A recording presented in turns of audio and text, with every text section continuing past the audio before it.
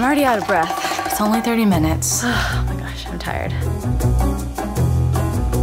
I have a sort of love-hate relationship with working out. I'm lazy, um, but I always feel better after I go to the gym. When I heard about Kayla Itsines, she is a very popular fitness guru on Instagram. She has over like 11 million followers. Her main sell on her fitness program is the fact that it's only 28 minutes and you have the option of doing it from home. So I wanted to see if you could actually get results from doing a home workout and what her like program actually consisted of. And I guess number three, see if I could cancel my gym membership. I think one of the biggest challenges doing this for six weeks would be eating better. I sort of have like a salt tooth, so I love eating like chips and just salty snacks and like Taco Bell and things that aren't necessarily good for you that are full of sodium. So I wanted to see if this program could help me feel less bloated on top of trying to get toned as well. So the program I selected to do on Kayla's app called Sweat was a program called Bikini Body Guide, which she calls BBG. And essentially that's a 28 minute program that focuses on strength and cardio exercises. I was a little skeptical that working out just for 28 minutes a day would prove like actual results. So I was kind of just curious to try it myself. I actually reached out to Kayla and her team to learn a little bit more of the logistics behind the program. Kayla told BuzzFeed, if we are realistic, many women do not have time to be working out for hours every day, and exercise seems to be the first thing we drop when our schedule gets too busy. Rather than focusing on the length of the workout, I like to focus on the effectiveness. By reducing the length, you can implement it into everyday life and make it part of your daily routine which seemed achievable to me and something I definitely wanted to try. So there is two sections in the Sweat app when you download it. One is if you want to do these exercises at the gym, but since I wanted to try this at home, I selected the home workout option. You need a yoga mat, a foam roller, some sort of stool or chair you can step on to do like up and down steps, I forget what it's called, and weights, but they are optional. And then the last thing you need is a water bottle. So one of the most confusing parts of the app for me was looking at the meal calendar. I misinterpreted the calendar as something I had to strictly follow when it was just sort of meant to be a guide.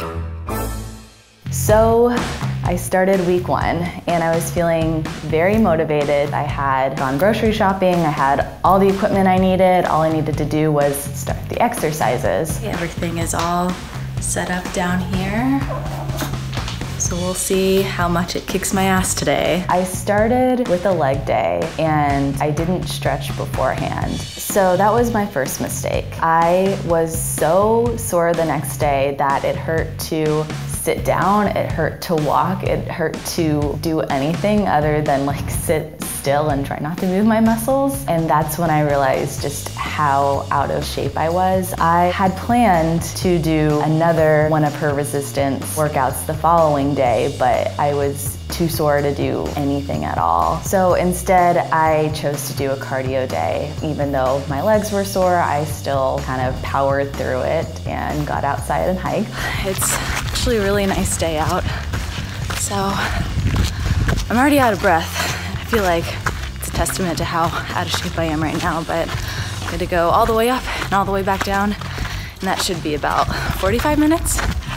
So we're gonna do it. The second challenge for me on the first week was the food.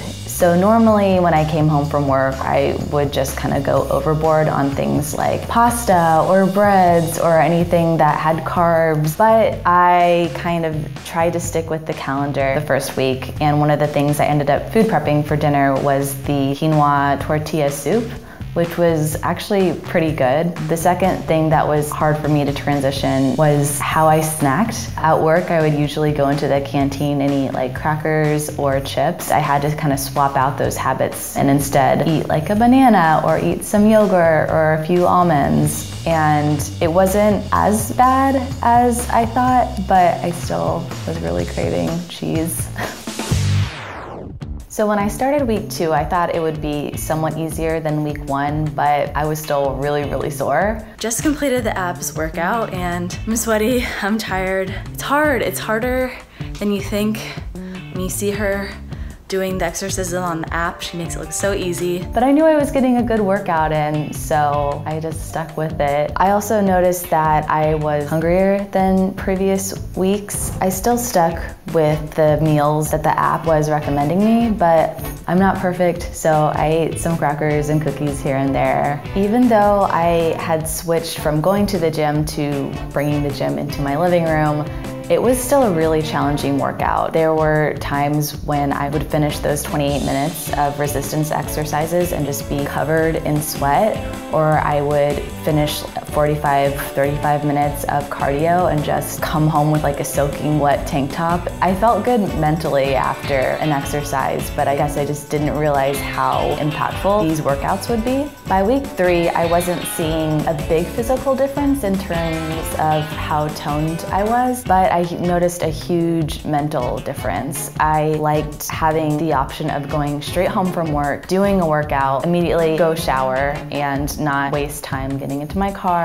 driving home in traffic, that sort of thing. Even if there were days I didn't necessarily want to do these app exercises, I still made myself do them anyway because it's only 30 minutes. It's only half an hour and it's gonna end soon. It's like sitting on the couch and watching an episode of a sitcom. I noticed it was becoming increasingly easier to make healthy food choices, especially because I was meal prepping. I found snacks that I really enjoyed eating and felt that I wasn't like taking away anything that I enjoyed other than cheese. But I still had these healthy snack options I could eat if I was hungry. But the holidays were coming up and I knew that was gonna be a challenge because one of the things I love doing during the holidays is eating and drinking, especially if you're in like a family or social setting. I think one of the hidden benefits of doing Kayla's program was the fact that it could come with you. The fact that I could just take it from one home to another home made it easy to continue doing. When I started week five, this was the point where I began to notice very subtle changes. For instance, in the very beginning during week one, I